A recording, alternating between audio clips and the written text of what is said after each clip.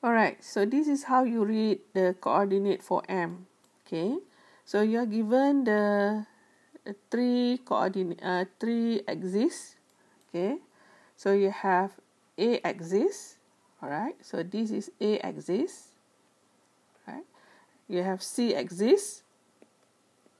Okay, and then you have B axis.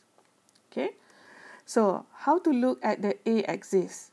So you look at the A axis so the top of the triangle at A is uh, 100%. Okay, 100% of uh, com compound A at this particular position.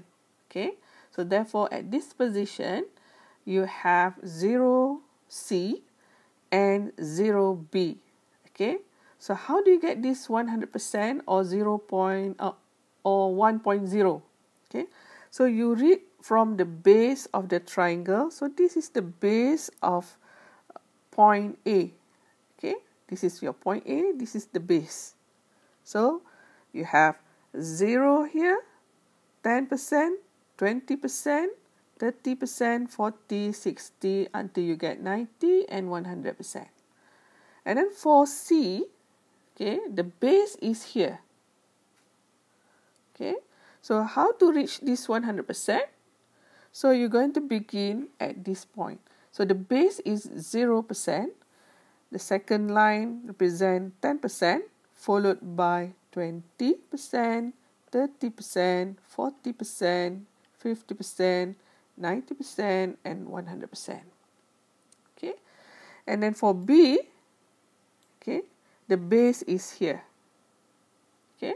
So the base is here. So this represents 0% of B. Okay. And when you go further up this way, so you have 10%, 20%, 30%, 40%, 70%, 80%, 90%, and 100%. Okay. So if you are given this point M, so to know the fraction or the percentage of your m okay? So you have to look at the three particular uh, coordinates that you have okay? So let's say you want to have the value of a. So the a is here okay? So the base of a is here.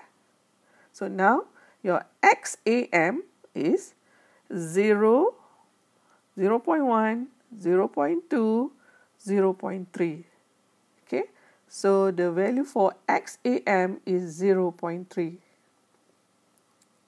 Okay, next you need to know the value for XBM. So this is your B, so the base is here. So the value of B for the M point is 0, 10, 20, 30 is 40. Okay, so you have XBM equal to 0.4. Okay, and then the last one is to know your XCM. C, the C is here, the base is here.